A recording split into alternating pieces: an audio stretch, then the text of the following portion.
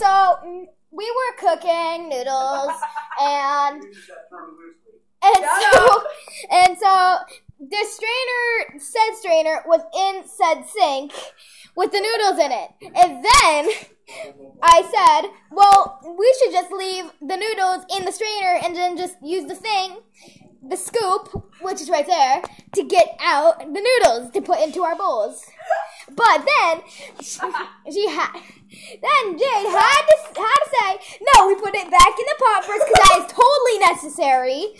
And then she dumped it here, here, here, here, here, here, here, on the ceiling, everywhere. yeah, I'm dying. cooking with Jade. Yeah.